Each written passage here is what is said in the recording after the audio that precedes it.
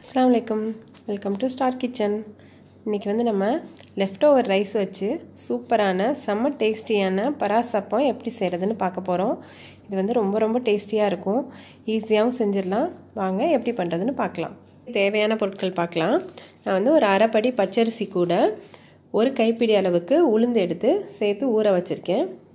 இப்போ அடுத்ததாக இது வந்து பழைய சாதம். ஒரு கப் அளவுக்கு பழைய சாதம் எடுத்து வச்சுருக்கேன். இப்போ இந்த அரிசி வந்து ஒரு ரெண்டு மணி நேரம் ஊறட்டும். வச்சு அரிசி நல்லா ஊறினதுக்கப்புறமா தண்ணி ஃபுல்லாக வடித்து விட்டுட்டு பழைய சாதத்துலேயும் தண்ணியை வடிச்சிட்டு ரெண்டையும் ஒன்றா சேர்த்து நல்லா பிசைஞ்சு எடுத்துக்கலாம். அரிசியும் நல்லா பிசைஞ்சதுக்கப்புறமா தேவையான அளவு தண்ணி சேர்த்து மிக்சியில் போட்டு அரைச்சி எடுத்துடலாம். இப்போ எல்லா மாவையும் அரைச்சி எடுத்தாச்சு.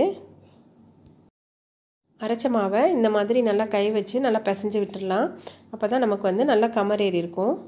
இது ஒரு மூடி போட்டு நம்ம வந்து ஆறுலேருந்து எட்டு மணி நேரத்துக்கு அப்படியே வச்சிடலாம். ஆறு மணி நேரத்துக்கு அப்புறமா நான் வந்து இந்த மாவை ரெடி பண்ணுறதுக்காக ஒரு அரை மூடி தேங்காவை சின்ன சின்ன பீஸாக கட் பண்ணி மிக்சி ஜாரில் சேர்த்துக்கிறேன். அப்புறமா ஒரு பெரிய வெங்காயம் அதையும் கட் பண்ணி சேர்த்துக்கலாம்.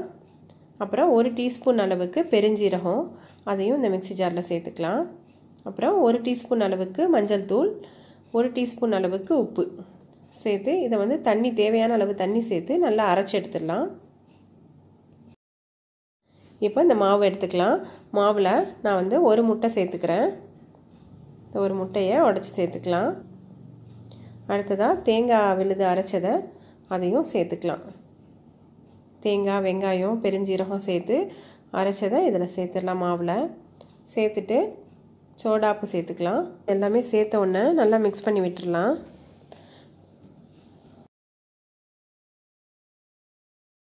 இப்போ அடுத்ததாக நான் வந்து சப்பாத்தி கல் அடுப்பில் வச்சு நல்லா ஹீட் ஆகிடுச்சு அதில் வந்து நம்ம ரெடி பண்ண மாவை இதில் சேர்த்துடலாம்.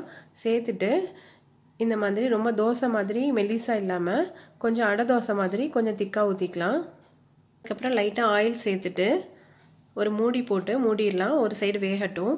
வந்து மீடியம் ஃப்ளேமில் வச்சுக்கலாம். பாருங்கள் இது வந்து ஒரு டூ மினிட்ஸ்லேயே வெந்துருச்சு. திருப்பி போட்டுடலாம்.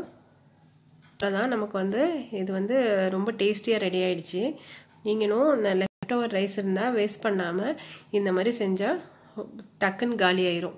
ரொம்ப டேஸ்டியாகவும் இருக்கும். பாருங்கள் நம்ம வந்து மீதி இருக்க எல்லா மாவுலேயுமே ரெடி பண்ணி எடுத்தாச்சு. இது வந்து சூடாக க கறி குழம்பு இல்லைன்னா முட்டை குருமா அந்த மாதிரி வச்சு சாப்பிட்றதுக்கு ரொம்ப டேஸ்டியாக இருக்கும். நீங்களும் ட்ரை பண்ணி பார்த்துட்டு எப்படி இருந்துச்சுன்னு கமெண்ட் செக்ஷனில் சொல்லுங்கள் இந்த ரெசிபி உங்களுக்கு பிடிச்சிருந்தா லைக் பண்ணுங்கள் ஷேர் பண்ணுங்கள் சப்ஸ்கிரைப் பண்ணாதவங்க மறக்காமல் சப்ஸ்கிரைப் பண்ணுங்கள் தேங்க்யூ